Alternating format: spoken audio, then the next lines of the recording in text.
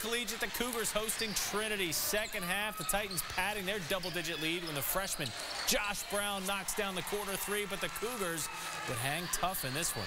They're going to work it inside to Michael Howard, who gets the kind roll. Moments later, if it ain't broke, don't fix it.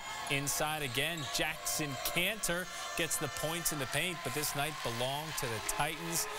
Nathan Swift Watch the spin move and the finish. And then in transition, Ben Johnson will pull up and knock down the three-pointer. Trinity rolls in this one at 58-25, the final.